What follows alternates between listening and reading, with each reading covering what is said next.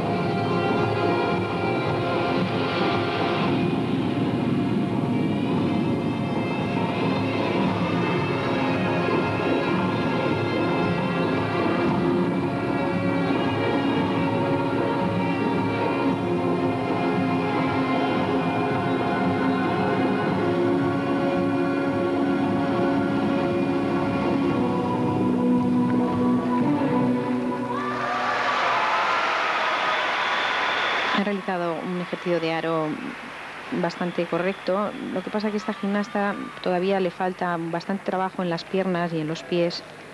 Digamos lo que sería el trabajo de limpieza corporal que se, que se consigue trabajando muchísimo el ballet, que es la base de preparación corporal para la gimnasia rítmica. Las gimnastas de, estas, de estos niveles eh, trabajan casi dos, tres horas diarias de ballet.